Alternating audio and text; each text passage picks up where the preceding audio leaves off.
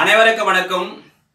நீ யார் என்று உனக்கே புரிய வைக்கும் ஆயுதம்தான் அவமானம் என்று கூறி இன்றைய வகுப்பில் criminal rules of practice two thousand nineteen இதில் ரூல் தேர்ட்டி ஃபைவ் என்ன சொல்கிறது என்பதை பற்றி இப்பொழுது நாம் பார்க்க போகிறோம்.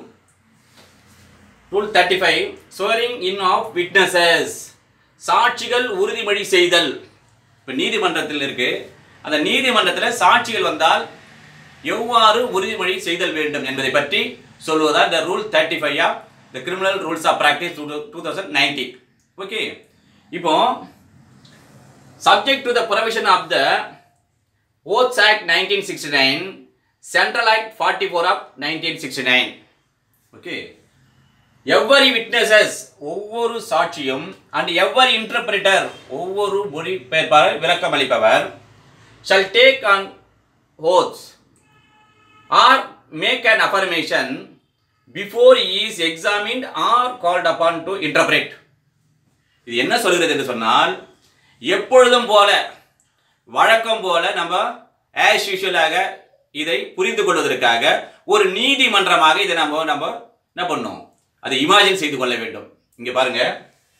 இவர் தான் சாட்சி சொல்ல நீதிமன்றம் வந்திருக்கிறார்.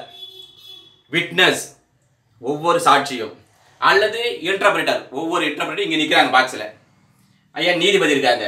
இவர் கோ ஸ்டாஃப் இவர் இந்த சாட்சியம் ஒவ்வொரு சாட்சியம் அளிக்கின்ற போது அந்த ஒவ்வொரு சாட்சியும் அவர் சாட்சியம் அளிப்பதற்கு முன்னால் இதை சொல்றாரு கேட்கிறார் சத்தியமா சொல்றேன்னு சொல்லுங்க. ஆணை உறுதிமொழி எடுத்துக்கொள்ளும் அல்லது உறுதி ஏற்பு எடுத்துக்கொள்ள வேண்டும் என்று சொல்றாங்க.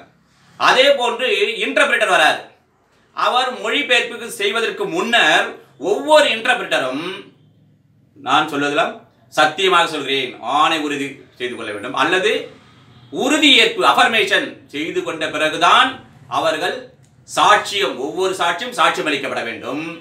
இன்டர்பிரிட்டராக இருந்தால் விளக்கம் அளிப்பவர்கள் மொழிபெயர்ப்பாக இருந்தால் அந்த ஒவ்வொரு இன்டர்பிரிட்டரும் இந்த ஆணை உறுதி அல்லது உறுதி ஏற்பினை ஹோத் ஆர் அஃபர்மேஷன் செய்துவிட்ட பிறகுதான் அவர்கள் சாட்சியம் அல்லது மொழிபெயர்ப்பு விளக்கத்தை கொடுக்க வேண்டும் என்று சொல்கிறது. சரி இதை எதற்குட்பட்டு இவர் சொல்ல வேண்டும்? இந்த சாட்சியாக இருக்கிறவர் அல்லது இன்டர்பிரட்டர் எந்த சட்டத்திற்கு உட்பட்டு இவர்கள் அந்த ஓத் ஆர் செய்ய வேண்டும் என்று சொன்னால் oath act nineteen sixty nine ஆணை உறுதி சட்டம் ஆயிரத்தி தொள்ளாயிரத்தி அறுபத்தி ஒன்பதின் படி மத்திய சட்டம் நாற்பத்தி நாலு ஆயிரத்தி தொள்ளாயிரத்தி அறுபத்தி ஒன்பதின் படி அதற்கு உட்பட்டு தான் அவர்கள் அந்த சத்திய பிரமாணம் அல்லது உறுதி ஏற்பினை செய்து கொள்ள வேண்டும். என்று சொல்லுகிறது. இது கண்டிப்பாக செய்ய வேண்டுமா அல்லது மேவா என்றால் ஷல் தான் இந்த சாட்சி சொல்வதற்கு முன்னால் அல்லது அந்த மொழிபெயர்ப்பு அல்லது விளக்கம் அளிப்பதற்கு முன்னால் ஒவ்வொரு சாட்சியும் ஒவ்வொரு இன்டர்பிரிட்டரும் கண்டிப்பாக அந்த ஓஸ் அல் அஃபர்மேஷன் எடுத்துக்கொள்ள வேண்டும் என்று சொல்லுகிறது. என்று கூறி அடுத்த வகுப்பில் சந்திப்போம். நன்றி வணக்கம்.